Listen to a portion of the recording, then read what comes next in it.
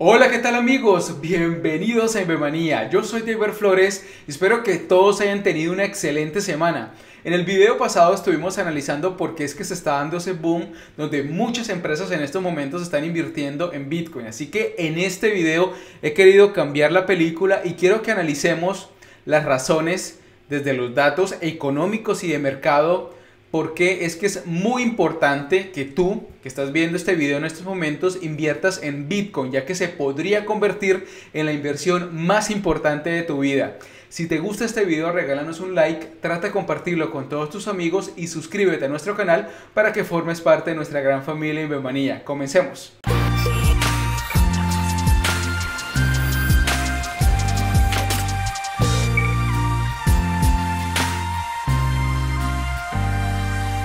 La semana pasada estuvimos promocionando la plataforma española Davies, donde puedes hacer transacciones, préstamos e intercambios de divisas de manera muy fácil y económica. Y esta semana pues he estado analizando su criptomoneda Davies Coin y la verdad me ha sorprendido porque digamos que en octubre, a principios de octubre, tuvo ya un rompimiento de su máximo anterior que logró en junio de este año, que fue aproximadamente 23 centavos y ya luego se ubicó en casi los 24 centavos y pues en este momento se encuentra en esta corrección típica de cualquier mercado luego de llegar en esos techos máximos. Lo interesante de esto es que si digamos vemos el comportamiento que ha tenido en el último mes ha crecido un 236% o en sus últimas 24 horas ha crecido un 5.5%. Este tipo de inversiones hay que verlas en el mediano largo plazo donde uno le apuesta digamos a estos proyectos nuevos que posteriormente ingresen a plataformas de intercambio de mayor volumen, en donde típicamente cuando ingresan pues tienen estos saltos que pueden ser para rentabilizar de forma muy práctica. Ahora, si estás interesado efectivamente en invertir o en comprar Davies, lo puedes hacer de forma muy fácil a través de su aplicación Davies App, que puede, está disponible tanto para Android como para iPhone y Luego que la descargues, lo que vas a hacer es registrarte con tu correo electrónico, creas una contraseña y lo más importante ahí es que luego pongas el código de referidos, ya que de esta manera pues vas a recibir tanto tu amigo como tú como referido un 2.5 de la comisión de la primera compra y luego que ya obviamente creas la cuenta pasas al proceso de validación donde pues típicamente estas plataformas te piden información personal y ya luego pues estás listo para comprar. Puedes comprar de dos maneras a través de una tarjeta de crédito que pues es más recomendable porque es mucho más práctico, no te piden más información adicional o a través de un depósito interbancario en donde pues también incluso posteriormente puedes acceder a subastas, es decir, donde puedes comprar eh, en, en, diferentes precios que están disponibles en ese momento, ya que pues con la tarjeta de crédito solo podrías comprar al precio del mercado pues que esté en ese momento. Y recuerden que Davies tiene un programa de referidos muy atractivo donde tanto tú como tu referido van a recibir un 2.5%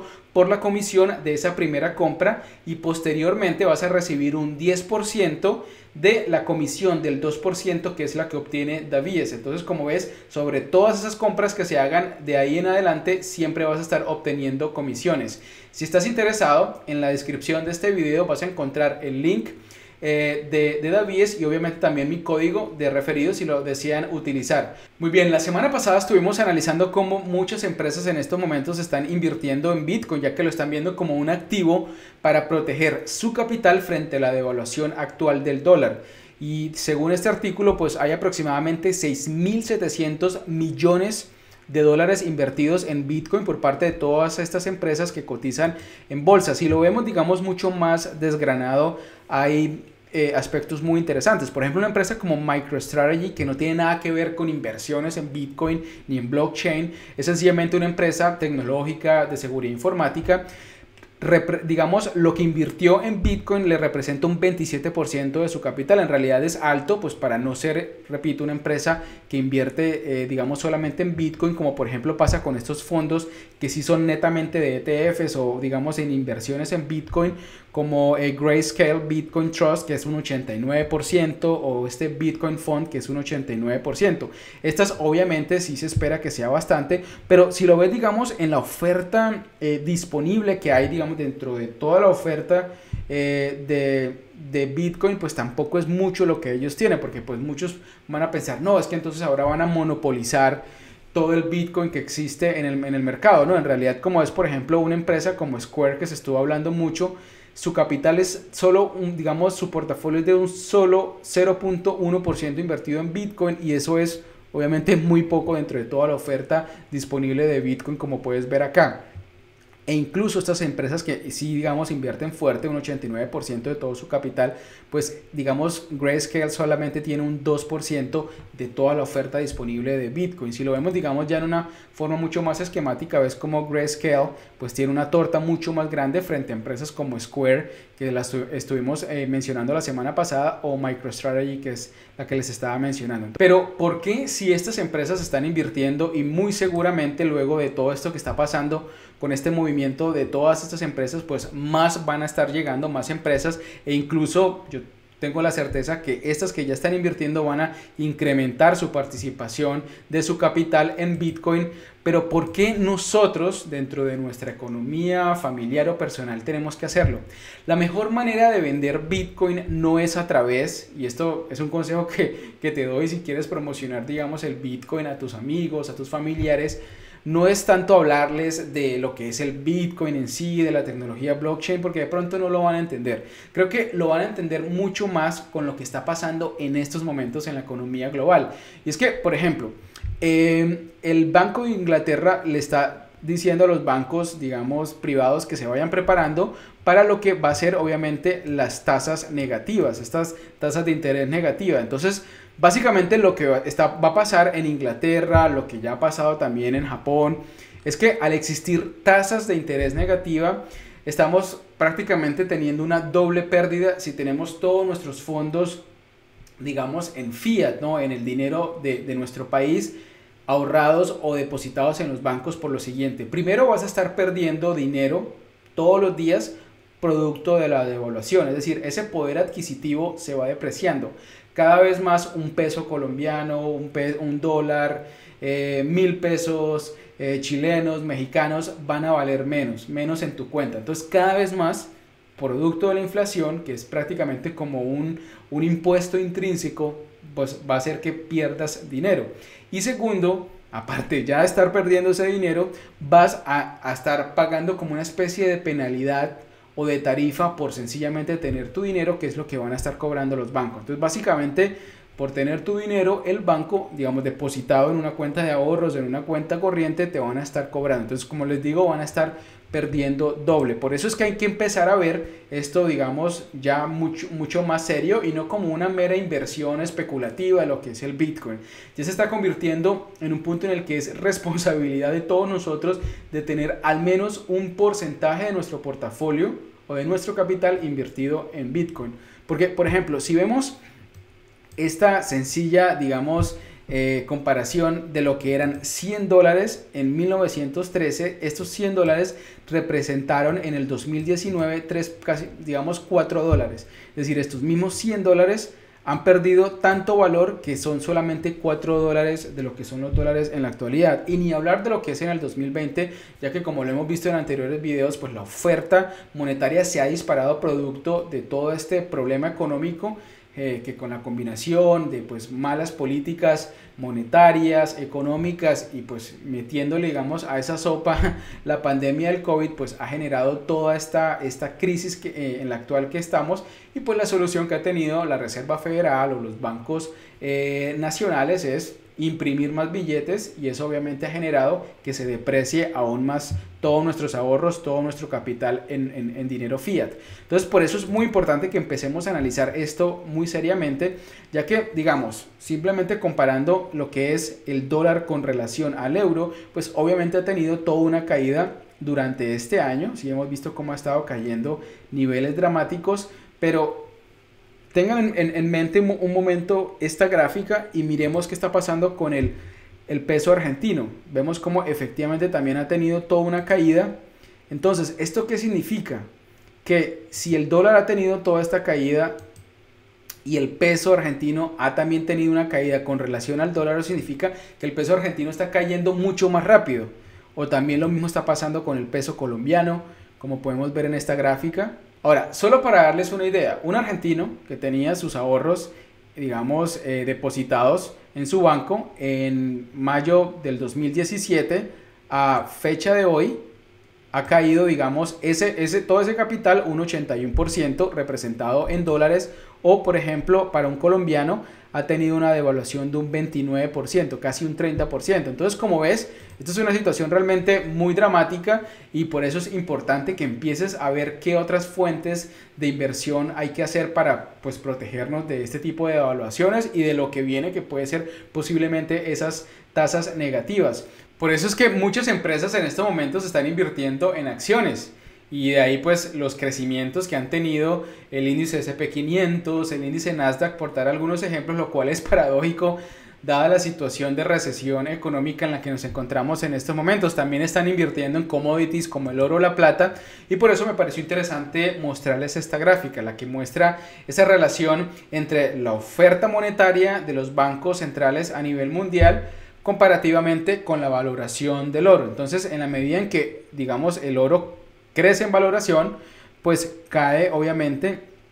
eh, eh, eh, la gráfica y esto hace pues que sea más atractivo, digamos, para explicar un poco, si digamos hay caída, significa que es mucho más atractivo invertir en, el oro, porque pues la valoración es más alta, al dividirlo, pues obviamente cae y esto hace pues que sea mucho más atractivo. Entonces vemos como por ejemplo en el 2000, desde el 2018 hasta este año, pues como ha estado creciendo el precio del oro, pues hemos tenido estas caídas, entonces significa que pues que ha estado siendo cada vez, digamos, comparativamente más atractivo tener el dinero, los dólares, en el oro. Ahora, si vemos, digamos, con relación al Bitcoin, la verdad es que, digamos, la gráfica lo, lo explica todo. Es mucho más atractivo invertir en Bitcoin comparativamente a lo que es el oro con relación al dólar en este caso, porque vemos como aquí ha tenido estas caídas, pero pues igual ha estado, digamos, en crecimientos frente a lo que es el Bitcoin, que prácticamente ha estado llegando a niveles cero y pues cada vez más se va acercando, es decir, ha tenido todas estas caídas. ¿Por qué? Porque la valoración del Bitcoin pues ha estado siendo exponencial, haciendo que efectivamente sea mucho más atractivo comparativamente con el dólar. Entonces, por eso es que esta gráfica muestra claramente cómo el Bitcoin puede ser la mejor inversión de tu vida, ya que pues en el largo plazo, los datos históricos, no lo digo yo, lo están diciendo los datos, al menos desde el 2015 que está esta gráfica, pues el Bitcoin ha sido mucho más fuerte con relación a la oferta monetaria de los bancos centrales. Entonces, en la medida en que el Bitcoin ha tenido pues todos estos crecimientos exponenciales en la valoración, pues se ha hecho mucho más fuerte con relación al dólar, por ejemplo, o al fiat, a la moneda de tu país, pero también comparativamente frente a otros activos en donde tú puedes proteger tu capital. Entonces, por eso es que me parece que en el largo plazo no hay discusión alguna y mi recomendación aquí, ya que pues de todo este, este análisis que les he hecho, de todos estos datos económicos y de mercado históricos, pues que al menos puedan invertir un 10% de tu capital en Bitcoin. Eh, digamos un 10% de lo que estás ganando de tu salario, ese ahorro que tenías, por ejemplo, destinado en una cuenta de ahorros, al menos un 10% de lo que ganas eh, mensualmente es ya no tanto como para especular, no, es una responsabilidad porque los datos nos lo están mostrando. Yo sé que para muchas personas puede ser muy complicado invertir un 10% mensual en Bitcoin, pero al menos comienza con un 1% y vas a ver la diferencia de lo que es proteger tu capital de lo que se viene obviamente con toda esta depreciación, porque si nos hemos estado depreciando digamos, históricamente durante todos estos años, qué va a ser la diferencia en estos momentos cuando estamos cada vez más en una crisis económica mucho más profunda. Así que analiza, obviamente, esos niveles de entrada que nos pueden dar el Bitcoin eh, en el mediano plazo, como les he dicho, no vale la pena estar especulando ni jugando, pues obviamente vas encontrando niveles de entrada en correcciones que vaya teniendo el mercado y, digamos un, un consejo que les di la semana pasada y que pues sigue mostrándose es cómo Ethereum y Bitcoin están teniendo una relación muy interesante y una, digamos, una correlación eh, eh, con el par del dólar. Y es que vemos como, por ejemplo, olvídate por un momento del análisis técnico, de soportes, de lo que sea. Sencillamente mira esta gráfica, mira por ejemplo lo que ocurrió en marzo, si venía digamos de toda esta caída y aquí tuvo toda esta recuperación, veamos Bitcoin que pasó ahí en ese momento, también tuvo toda esta caída, también tuvo toda esta recuperación y por ejemplo en junio, por ejemplo en junio acá tuvimos prácticamente una fluctuación, unos rangos típicos del mercado. Y acá también en junio tuvimos unos rangos típicos del mercado. Luego en julio se disparó Bitcoin y digamos llegó a un nivel máximo en agosto. ¿Qué pasó con Ethereum? También se disparó en julio